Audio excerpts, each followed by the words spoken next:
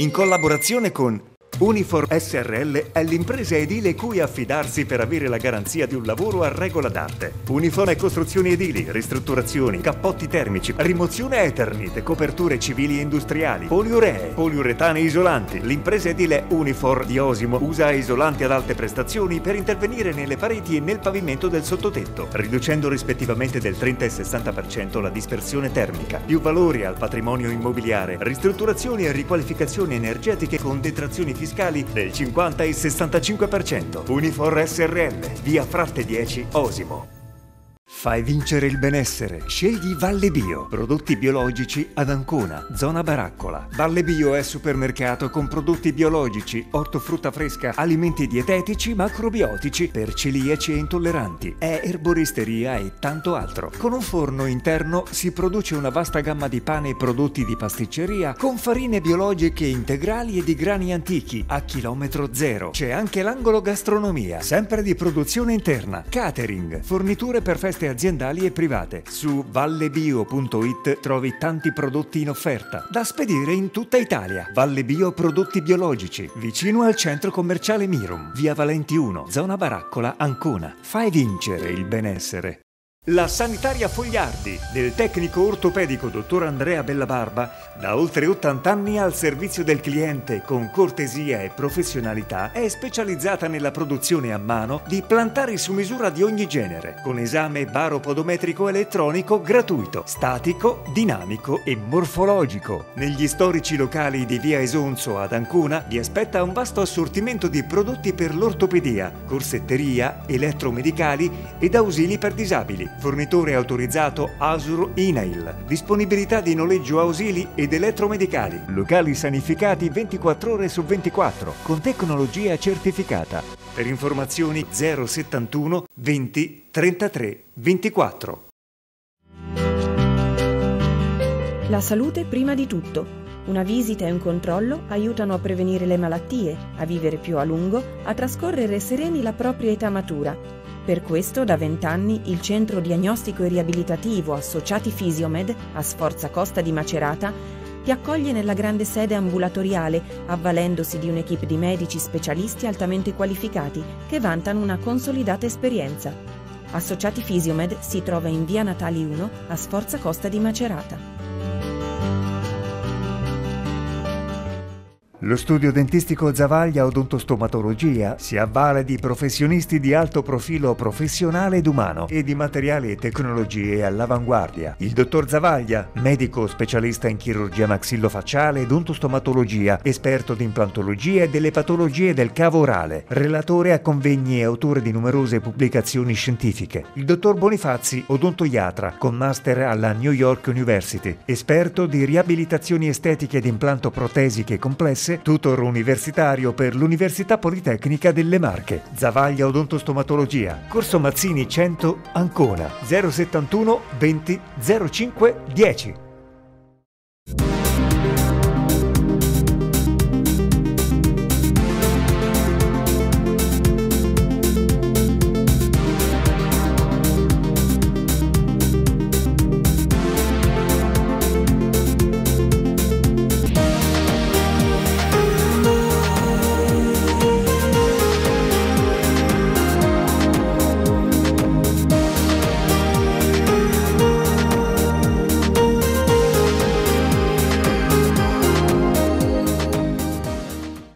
Buonasera e benvenuti a questo nuovo appuntamento con Canale Salute. Questa sera parleremo dei tumori al seno che purtroppo eh, sono in aumento in tutto il mondo nelle donne. Ecco, affronteremo questo argomento con i nostri ospiti che sono presenti in studio. Abbiamo con noi il professor Carlo Mariotti, direttore chirurgia senologica Ospedali Riuniti di Ancona e direttore nazionale Scuola Speciale di Chirurgia Senologica. Buonasera professore. Buonasera a tutti voi. Poi abbiamo con noi il dottor Enrico Lenti, dirigente medico, chirurgia senologica, sempre ospedali riuniti di Ancona. Buonasera dottore. Buonasera. Professor Mariotti, sempre più spesso le donne si ammalano di carcinoma mammario. Ecco, ci vuole dire perché, quali sono le cause, quali sono i fattori di rischio? Allora, innanzitutto direi che il dato più importante è quello che una donna su otto oggi si ammala nel mondo di carcinoma mammario L'altro eh, elemento di assoluto rilievo è il fatto che eh, questo aumento interessa anche le donne giovani, che fino a 30-35 anni fa appunto rimanevano come eh, mosche bianche, invece ora l'incidenza di carcinoma mammario incide incide pesantemente anche in una fascia giovanile. Questo mh, subito da dire che a fronte di questa incidenza però l'andamento della sopravvivenza, cioè la guaribilità della malattia è assolutamente cresciuta e quindi la mortalità si è assolutamente abbassata. Quindi questo è il primo, è il primo per introdurre proprio la, la prima nota positiva. Diciamo. La prima nota positiva. I fattori di rischio per quale motivo viene? Eh, la domanda è, non è così, una risposta così diretta. Direi che conosciamo alcuni fattori di rischio. Alcuni fattori di rischio che possono essere evitati, primi fra tutti verrebbe da dire una cura attenta della propria persona che è volta sia ad avere uno stile di vita congruo, e quindi evitare cibi grassi, fare, evitare la vita sedentaria, alcol, fumo, e, ma anche quello di avere molto cura della propria persona, di sottoporsi regolarmente a tutti i controlli e ad osservare le minime modificazioni che possano intervenire. E, in, que, in, questo ambito va citato il problema della, della, genetica, cioè dei fattori di rischio che alcune donne hanno maggiormente di altre, cioè alcune donne hanno una mutazione nei loro cromosomi che si portano nella loro famiglia. Il, il, nome di questa mutazione è quello di BRCA1 e 2, eh, che appunto codifica, identifica la possibilità di ammalarsi più facilmente di tumore mammario, di tumore anche ovarico. Direi che questo è un caso che è arrivato all'attenzione del grande pubblico con eh, la, la vicenda di Angelina Jolie che comunque ha contribuito pesantemente ad informare a stimolare le donne a controllarsi. Ecco, eh, una donna eh, per sapere se ha rischio di carcinoma mammario può fare, ecco, siccome lei mi ha parlato di mutazioni genetiche, dei test genetici per vedere insomma, se può andare incontro a questo rischio? Allora, dicevo appunto che la mutazione incide in una percentuale molto bassa ancora per quello che riguarda le nostre conoscenze. Per poter fare questo test chiaramente tutto questo passa attraverso degli specialisti oncologi che si occupano di genetica oncologica e che eh, intervistano la, la, la, la, candidata a fare questo test e se rilevano una storia familiare tale per cui questo test va, vada effettuato, appunto lo effettuano.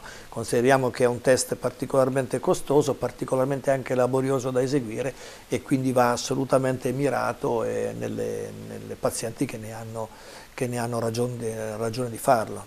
Eh, professore, le donne in sovrappeso sono più a rischio di, di sviluppare un carcinoma mammario? Eh, sì, non, assolutamente sì, perché la, la, il metabolismo del, dei grassi, del grasso fondamentalmente va ad interferire appunto con gli ormoni, con eh, il circolo ormonale quindi questo può iperstimolare la ghiandola mammaria. Quindi quando lei parlava di stile di vita anche mantenere vita, un giusto peso è giusto importante. Peso, insomma, sono quelle buone, quelle buone, raccomandazioni che ritornano facilmente in tutta la patologia oncologica. È indubbio che il ruolo degli estrogeni gli estrogeni a livello alimentare, a livello ambientale, insomma il discorso delle radiazioni, pensiamo al fenomeno Chernobyl e pensiamo appunto a quelle che erano ragazzine, giovani adolescenti nell'epoca di Chernobyl, che adesso invece sono donne di, di mezza età e che appunto hanno un'incidenza assolutamente importante, quindi le, le, le problematiche sono molto, molto, molto, molto aperte. Ecco. La terapia sostitutiva, professore, può incidere nello sviluppo del carcinoma mammario, la, che poi è la terapia che viene fatta insomma, dopo la menopausa. Che veniva fatta, che veniva. per chi ecco. adesso dovrebbe essere oramai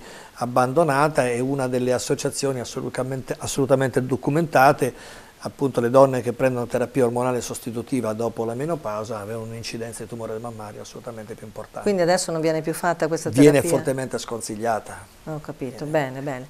Eh, professore, ecco, adesso parliamo un attimo dei sintomi. Ecco, il carcinoma mammario dà sintomi? Una donna come se ne accorge? Diciamo, in termine proprio medico non ha sintomi perché non, eh, sintomi sono dolore o altre cose, che è l'unica cosa che sicuramente il cancro della mammella non dà. Ha dei segni che eh, vanno cercati dalla donna stessa. La cosa più importante è la donna deve avere coscienza del proprio petto e quindi avere coscienza e conoscenza del proprio petto perché nessuna meglio di lei può eh, individuare se ci sono delle, delle, delle, modificazioni, sia nel senso di comparsa di piccoli noduli, di comparsa di eczema del capezzolo, retrazioni della cute, secrezione dal, secrezione dal capezzolo. In realtà il gioco, e lo vedremo nello svolgere della trasmissione, è legato all'attenzione a fare alcuni controlli che possano intercettare il tumore al suo esordio, cioè quando ancora non dà né segni né sintomi. Ecco, infatti ora parliamo eh, appunto, eh, professore, dello screening mammografico.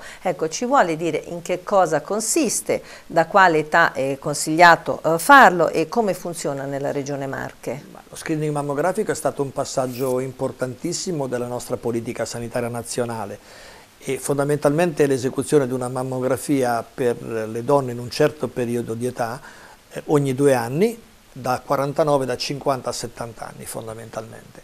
E lo screening esegue, la paziente, la, la, la donna viene chiamata dal Servizio Sanitario Nazionale ad eseguire questa mammografia una volta ogni due anni dalla, la regione Marche eh, ha lo stesso screening che hanno tutte le altre regioni del nostro territorio nazionale, l'aderenza a questo screening è non altissima sul territorio nazionale, e chiaramente perché il sistema sanitario chiama ma molto spesso le donne non si presentano ad eseguirlo e questo è molto grave per la loro salute e anche per lo sforzo economico che dietro tutto questo sta. Certo, certo, bene. Dottor Lenti, ecco, se una donna ha un sospetto, quali accertamenti deve fare per scoprire se ha un carcinoma mammario? Dunque, la cosa più importante, e ci tengo a sottolinearlo, è che la persona che scopre di avere qualcosa che non va bene nel suo seno non si deve intanto allarmare perché non c'è nessuna emergenza senologica che debba essere affrontata in maniera eh, immediata e eh, tante, tante, volte vediamo che le persone si rivolgono addirittura al pronto soccorso, ecco non è un, ehm, un percorso consigliato. Non è neanche consigliato che la donna di sua iniziativa vada alla ricerca di un centro in cui può fare un'ecografia o una mammografia in tempi rapidi perché spesso non è così facile trovare delle tempistiche o delle strutture. La cosa invece più importante da fare, più eh, logica è affidarsi nel, nelle mani degli specialisti che fanno questo mestiere, quindi con impegnativa del curante, barrando la, la urgenza o la visita a breve, la lettera U o la lettera B, si possono rivolgere le persone in un centro di senologia dove lo specialista la può visitare a volte anche il curante che ci chiama, noi a volte le visite che facciamo le facciamo anche in tempi più rapidi dei tre giorni previsti dall'urgenza, quindi la persona può telefonare o far telefonare dal curante, essere sottoposta a una visita senologica urgente in tempi rapidi, lo specialista si prenderà sicuramente carico della persona e la indirizzerà verso il percorso diagnostico utile per risolvere il problema di quella persona se di problema si tratta. Ecco, questa è un'informazione molto importante che ha dato perché ecco, magari eh, la donna magari è presa dalla paura, poi eh, ecco, va eh, non in un centro specializzato invece eh, anche nel, insomma, nel vostro ospedale in due o tre giorni è possibile sì, fare ecco, questa visita per poi ecco, verificare se c'è qualche eh, qualche sospetto di tumore. Ecco, eh, dottore, alcune donne sono eh, preoccupate, parlando sempre dello screening mammografico, alcune donne sono preoccupate per le radiazioni durante l'esecuzione della mammografia. Ecco, come possiamo rassicurarle? Dunque, le persone possono essere sicuramente rassicurate. La dose di radiazione che viene emanata con una eh, mammografia è paragonabile alla quantità di raggi che si può uh, prendere andando in una giornata di sole in, in montagna. Le dosi sono molto molto basse e non pericolose. È opportuno però che tra una mammografia e l'altra ci sia un intervallo di tempo di almeno un anno, quindi è importante che la mammografia non venga eseguita se non in, in, eh, in, presenza di determinati motivi e specifici motivi clinici, tra una mammografia e l'altra deve passare un anno se non ci sono motivi particolari per, per accorciarlo. Bene, ecco. eh, dottore, eh, la mammografia eh, può avere un margine di errore nella diagnosi? Certamente, certamente non esistono, non esistono in uh, senologia, ma in medicina in generale, esami infallibili, esistono esami utili, esami molto utili come la mammografia, che sicuramente è l'esame senologico principale, ma tutti gli esami devono essere interpretati come una serie di indizi che concorrono tutti insieme a formare l'idea della ehm, della visione clinica di quella persona. Se, se voi ci pensate, la medicina è ancora una di quelle cose per cui è stato complicato e non sono ancora nate applicazioni o algoritmi di computer in cui una persona prende, mette, inserisce i dati e poi c'è un risultato, perché si basa ancora sull'esperienza del professionista, sulla raccolta di tutti i dati che poi devono essere messi insieme per concorrere a fare il quadro clinico. Quindi la mammografia è un esame, come tutti gli esami che esistono, non infallibile ma molto utile che deve essere integrata nell'ambito di un percorso diagnostico con gli altri esami che servono. Ecco, bene, dottore, è abbastanza comune vedere scritto nel referto della mammografia presenza di microcalcificazioni e questo chiaramente desta una certa preoccupazione nelle donne. Ecco, ci vuole dire che cosa sono le microcalcificazioni? Dunque, le microcalcificazioni sono piuttosto frequenti nelle mammografie e non sono tutte uguali, se ne distinguono vari tipi. L'importante è sottolineare che le microcalcificazioni possono, e sottolineo la parola possono, essere l'espressione di un carcinoma in fase molto iniziale.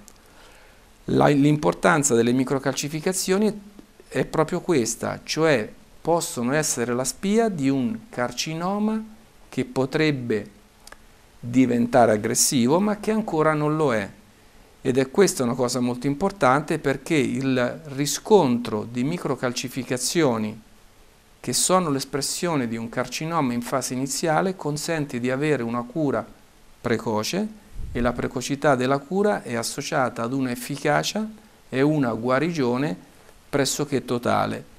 Quindi le microcalcificazioni non sono tutte uguali, il fatto di avere le microcalcificazioni non vuol dire essere malata, sono diverse ed è il radiologo che capisce quali sono di un tipo e di un altro. Nelle calcificazioni che devono essere indagate, nelle calcificazioni che devono ehm, essere indagate, a volte troviamo dei carcinomi molto iniziali e sono quelli i casi in cui noi otteniamo il massimo dell'efficacia della terapia e della cura. Bene. Professor Mariotti, ecco, sebbene si parli comunemente di tumore al seno, è bene sottolineare che i tumori al seno non sono tutti uguali. Eh certo, questa è una delle acquisizioni diciamo, più rilevanti degli ultimi anni. Molto tempo fa eh, i tumori erano fondamentalmente o venivano dai dotti o venivano dai lobuli, quindi se ne conoscevano due tipi, eh, duttali e lobulari. Poi è comparsa l'addizione che citava il mio collega prima del carcinoma intraduttale, cioè in cui le cellule erano ancora all'inizio rimaste nei dotti del latte che davano, e che vanno poi a guarigione una volta trattati. La vera rivoluzione è quella di aver conosciuto una carta d'identità biologica di ogni singolo tumore, questa è un'acquisizione grazie ai patologi che abbiamo avuto negli ultimi 10-15 anni, che ha un po' rivoluzionato anche il sistema di cura cioè a dire che quello che ritenevamo essere lo stesso tumore, in realtà due o tre tumori sono profondamente diversi perché hanno delle caratteristiche biologiche completamente a sé stanti. Mi riferisco ai recettori per gli ormoni, ai recettori ormonali, mi riferisco agli indici di proliferazione cellulari, mi riferisco agli oncogeni, cioè tutta una serie di informazioni che definiscono tutta una gamma di tumori profondamente diversi. Bene, ora noi ci fermiamo un attimo per una pausa pubblicitaria, restate con noi, torniamo tra poco, sempre per parlare del tumore al seno e sempre con il professor Mariotti e il dottor Lenti. Lo studio dentistico Zavaglia Odontostomatologia si avvale di professionisti di alto profilo professionale ed umano e di materiali e tecnologie all'avanguardia. Il dottor Zavaglia, medico specialista in chirurgia maxillofacciale ed odontostomatologia, esperto di implantologia e delle patologie del cavo orale, relatore a convegni e autore di numerose pubblicazioni scientifiche. Il dottor Bonifazzi, odontoiatra, con master alla New York University, esperto di riabilitazioni estetiche ed implanto protesiche complesse inglese, tutor universitario per l'Università Politecnica delle Marche. Zavaglia Odontostomatologia. Corso Mazzini 100 Ancona 071 20 05 10. La salute prima di tutto. Una visita e un controllo aiutano a prevenire le malattie, a vivere più a lungo, a trascorrere sereni la propria età matura. Per questo da vent'anni il Centro Diagnostico e Riabilitativo Associati Fisiomed, a Sforza Costa di Macerata, ti accoglie nella grande sede ambulatoriale, avvalendosi di un'equipe di medici specialisti altamente qualificati che vantano una consolidata esperienza. Associati Fisiomed si trova in via Natali 1 a Sforza Costa di Macerata. La sanitaria Fogliardi del tecnico ortopedico dottor Andrea Bellabarba, da oltre 80 anni al servizio del cliente con cortesia e professionalità, è specializzata nella produzione a mano di plantari su misura di ogni genere, con esame baropodometrico elettronico gratuito, statico, dinamico e morfologico. Negli storici locali di via Esonzo ad Ancona vi aspetta un vasto assortimento di prodotti per l'ortopedia, corsetteria, elettromedicali ed ausili per disabili fornitore autorizzato Asur Inail, disponibilità di noleggio ausili ed elettromedicali, locali sanificati 24 ore su 24, con tecnologia certificata. Per informazioni 071 20 33 24. Fai vincere il benessere. Scegli Valle Bio. Prodotti biologici ad Ancona, zona Baraccola. Valle Bio è supermercato con prodotti biologici, ortofrutta fresca, alimenti dietetici, macrobiotici per celiaci e intolleranti. È erboristeria e tanto altro. Con un forno interno si produce una vasta gamma di pane e prodotti di pasticceria con farine biologiche integrali e di grani antichi a chilometro zero. C'è anche l'angolo gastronomia, sempre di produzione interna. Catering, forniture per feste aziendali e private. Su vallebio.it trovi tanti prodotti in offerta, da spedire in tutta Italia. Valle Bio Prodotti Biologici, vicino al centro commerciale Mirum, via Valenti 1, zona Baraccola, Ancona. Fai vincere il benessere. Unifor SRL è l'impresa edile cui affidarsi per avere la garanzia di un lavoro a regola d'arte. Unifor è costruzioni edili, ristrutturazioni, cappotti termici, rimozione Eternit, coperture civili e industriali, poliuree, poliuretane isolanti. L'impresa edile Unifor di Osimo usa isolanti ad alte prestazioni per intervenire nelle pareti e nel pavimento del sottotetto, riducendo rispettivamente del 30 e 60% la dispersione termica. Più valori al patrimonio immobiliare, ristrutturazioni e riqualificazioni energetiche con detrazioni fiscali del 50 e 65%. Unifor SRL, via Fratte 10, Osimo.